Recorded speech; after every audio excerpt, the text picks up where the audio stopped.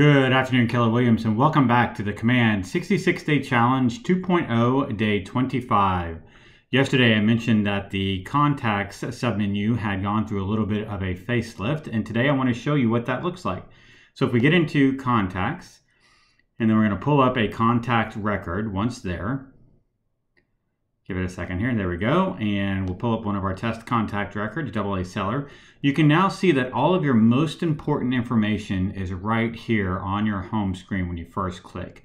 Previously, we know we kind of had to scroll through to get to a lot of the information and the redesign shows you immediately I can add them to a smart plan quickly and easily here. I can edit the contact quickly and easily by clicking on the pencil icon, and I can also archive the contact quickly and easily as well.